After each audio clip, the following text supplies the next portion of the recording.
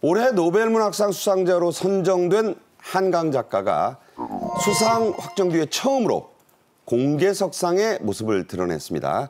자, 뭐라고 소감을 발표했는지 한번 직접 들어보시죠. 무척 기쁘고 감사한 일이어서 그날 밤 조용히 자축을 했습니다. 그 후 지금까지 많은 분들이 진심으로 따뜻한 축하를 해주셨습니다. 그토록 많은 분들이 자신의 일처럼 기뻐해 주셨던 지난 일주일이 저에게는 특별한 감동으로 기억될 것 같습니다.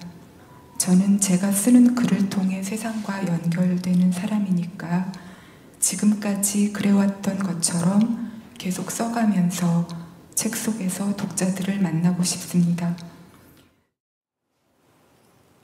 한강 작가 인터뷰는 전에도 제가 들어볼 때 어떻게 저렇게 톤을 높이지 않고 할 말을 다 차분히 하는지 이번에도 그러는군요. 한강 작가 모든 카페인을 건강을 위해 끊었다면서 마음속의 소설을 굴리는 시간. 자, 참 작가적 표현이죠. 그게 가장 좋다는 말도 했습니다. 지난 일주일 참 뭐 대단한 일주일이었는데 여기에 대한 소회도 좀 밝혔죠? 예, 한강 작가는 이제 지난 일주일이 예, 저에게는 특별한 감동이었다. 아, 그리고 지금까지 그래왔던 것처럼 계속 글을 써가면서 책 속에서 독자들을 만나고 싶다. 이렇게 이제 소회를 밝혔는데요. 이게 이제 어제 그 오후에 서울 강남구 아이파크 타워에서 열린 18회 포니정 혁신상 시상식에 이제 수상자로 참석을 해서 한 말입니다. 네. 이게 그 한 작가는 올 봄부터 써온 소설 이한 편을 완성하려고 현재 애쓰는 중이다라고 이제 근황을 밝혔고 네. 그리고 바로 내년 상반기에 어떤 신작으로 예, 이걸 맞춰서 신작으로 독자들을 만날 수 있기를 희망한다 이렇게 밝혔습니다.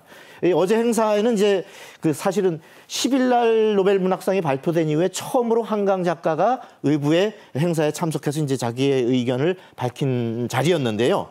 예, 어제 검은색 정장 차림으로 어, 들어올 때는 이제 1층 취재진을 피해 예, 다른 문으로 입장을 했는데 기자들이 진을 쳤으니까 예, 뭐 질문이 쏟아질 테니까 했는데 이제 그 행사 첫 모두에 수상 소감 모두에 바로 취재진이 궁금히 여기는 현재 최근의 근황과 앞으로의 계획을 아주 짤막하지만 압축적으로 먼저 이렇게 밝힌 겁니다. 네. 한강 작가의 소감 중에 이 황금 시대란 말이 또 유행을 했어요. 태그가 많이 걸렸습니다. 앞으로 60세까지를 어, 작가의 그 황금기가 아니냐. 50세에서 60세로 본다. 근데 본인이 한 달 뒤에 54살이 된대요. 만으로. 그래서 어, 책 세 권을 쓰는데 몰두하겠다고 했습니다. 원래 못하는 술에 이어서 아까 말씀드렸지만 모든 카페인도 끊었다고 했네요. 그렇습니다. 집중, 집중하겠다는 뜻이고 유행어가 될 것 같습니다. 난 술도 못 마시고 카페인도 끊어. 어, 앞으로 60세까지 책 세 권 쓰는데 몰두하겠다. 그러니까 한 2년 만에 한 권씩 책을 내겠다는 이야기인데 바로 이제 이 한강 작가가 좋아하던 여행도 이제 거의 안 한다. 네. 이렇게 얘기를 했습니다. 모든 걸 끊고 오로지 이 상상력을 가동하면서 책을 쓰겠다는 건데 한 달 뒤에 이제 만으로 54세가 됩니다. 그러니까 60세까지 어 6년이 남는 셈인데 이게 왜 그러냐면 작가들 한금기가 50대에서 이제 50에서 한 60세까지라고 그래요. 그러니까 이때 자기도 바짝 해서 정말 좋은 작품들을만 남기고 싶다는 의미를 텐데 어, 한강 작가가 스스로를 이렇게 평가했습니다. 나는 무슨 재미로 살까 하는 그런 질문을 종종 받는 사람이라고 했습니다. 자, 포니정. 포니가 뭐냐면은 영어로 조랑말이죠. 왜 저런 별명이 나왔을까요? 바로 아, 국민차로 불렸던 현대 포니를 만든 고 정세영 현대산업개발 명예회장의 애칭 별명입니다. 자, 포니정 재단 어떤 일을 해왔나요? 그렇습니다. 방금 전에 말씀하셨던 대로 현대 정주영 고 정주영 회장의 동생이죠. 그리고 정몽규 축구협회장의 아버지입니다. 네. 어, 20년째 학술 장학 사업을 지원하고 있는데 그동안 뭐 어, 수상했던 사람들의 면면이 화려합니다. 피겨 여왕 김연아, 또 쇼팽 콩쿠르에서 입상을 했던 피아니스트 조성진 등이 수상하는데 이번에 이제 한강 작가가 수상을 하게 되는 것인데요. 그동안 이 수상자들을 보더라도 상당히 사회의 경쟁력을 보였던 인물인데 고 정세영 회장이 그런 이야기를 했다고 합니다. 기본이 바로서야 경쟁력을 키울 수 있다. 뭐 당연한 얘기인데 참 울림이 있어요. 그렇죠. 어, 명언이죠. 매년 수여를 해왔는데 어, 포니정의 이 혁신상은 상금이 2억 원이고요.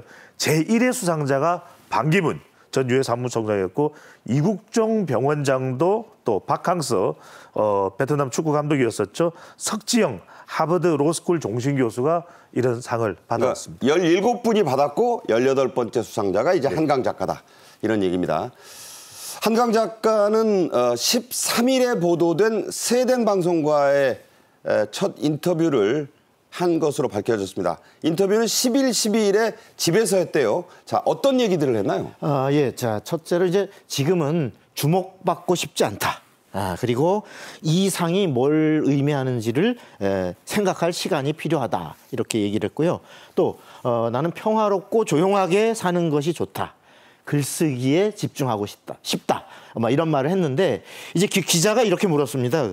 그 아버지를 통해서 축하하고 싶지 않다라고 했었는데 왜 그랬느냐? 그렇죠. 라고 이제 질문하니까 이 작가가 아 이를 좀 부인했습니다. 그러니까 뭐냐면 큰 혼란이 있었던 것 같은데 아, 나는 그때 아들과 조용히 차를 마시면서 축하를 했다. 예, 다만 이제 이게 한때 뭐 기자회견을 안 하겠다 뭐 이렇게 잘못 알려진 이유에 대해 설명하기를 뭐냐면 지금 세계에 많은 고통이 있으니 그러니까. 우크라이나 중동에서 전쟁으로 많은 사람들이 생명이 죽어가고 있는데 이런 상황에서 뭐 마을 큰 마을 잔치 같은 거 이런 건 안 하는 게 좋겠다라고 얘기한 거다라고 설명을 했습니다. 네. 예. 자, 한강 작가의 각종 저서, 시집, 소설, 뭐 모든 책들 많이 있습니다. 이게 100만 부가 넘게 팔렸습니다. 대단한 겁니다. 그것도 불과 일주일도 안 된 시간에 이룬 대기록이라고요? 대기록입니다. 저 이게 이제 이른바 어, 노벨 어, 문학상 여파라고도 또 영향으로 볼 수 있는데요. 흥행으로 볼 수 있는데 어, 한강 작가의 저서가 노벨 문학상 수상 후 단 6일 만에 100만 부 넘게 팔렸습니다. 이건 정말 엄청난 일이고 그 이전에 우리가 알고 있는 인기 작가 무라카미 하루키 또는 올해 밀리언셀러를 기록하는 세이노의 가르침도 뭐 1년 이상 걸려야 이렇게 그럼요. 베스트셀러가 되는 것인데 단 6일 만에 그만큼 한강 작가의 쾌거 온 국민이 축복하고 있다고 볼 수 있는 것이고요. 종이책뿐만 아니라 전자책 합계해서 110만 부를 돌파했는데 더 늘어날 것 같아요. 전무후무한 그런 대기록이 되는데 저는 이 말씀 꼭 드리고 싶습니다. 제발 한강 작가에만 국한되지 말고 우리 많은 또 전도 유망한 작가들의 책들을 좀 많이 읽으실 수 있는 그런 가을이 되면 좋겠습니다. 생각나는 게요. 우리나라 사람들이 축구 팬이 아니라 월드컵 팬이 아니냐 이런 얘기가 있어요. 아, 축구를 사랑하는 사람들은 어, 평소에도 좀 봐야 되는데 월드컵 예선전 본선만 난리다. 그런 생각이 듭니다.